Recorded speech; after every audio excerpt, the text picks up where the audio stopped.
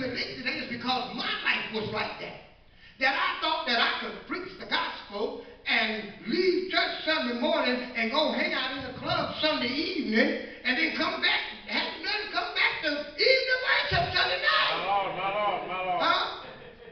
My Lord. But this is what Paul is trying to tell Timothy that you need to train them to do better than this.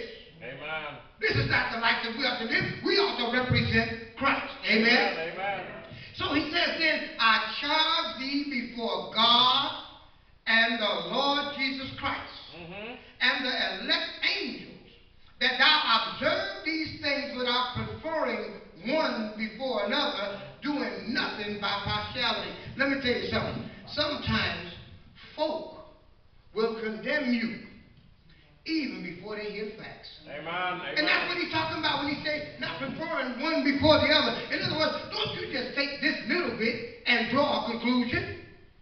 What did the, uh, uh, uh, Solomon say? Solomon said, let us hear the conclusion of the whole matter. Amen.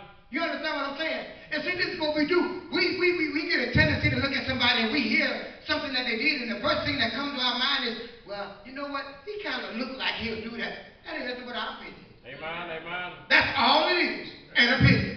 Amen. amen. But it's not the truth, so he's telling him